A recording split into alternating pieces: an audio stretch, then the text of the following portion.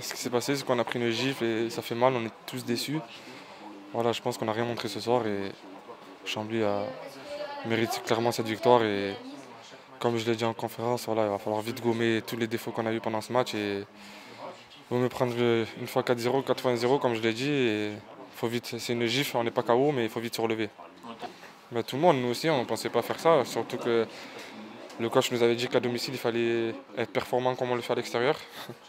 Chose qu'on n'a pas montré ce soir. Justement, on en prend 4 ce soir, c'est difficile à avaler, mais maintenant c'est fait.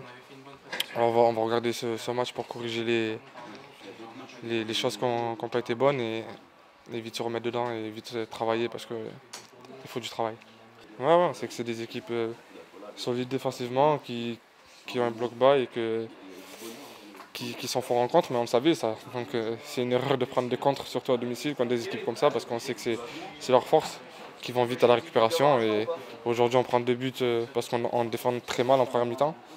Après, bon, les deux buts, euh, ils mettent très beaucoup franc. Le, le, troisième, on essaye de pousser parce qu'il y a 2-0, donc on est à la maison, on est obligé de pousser. Mais je pense que sur les, deux premiers buts en première mi-temps, on n'a pas le droit de prendre des buts comme ça.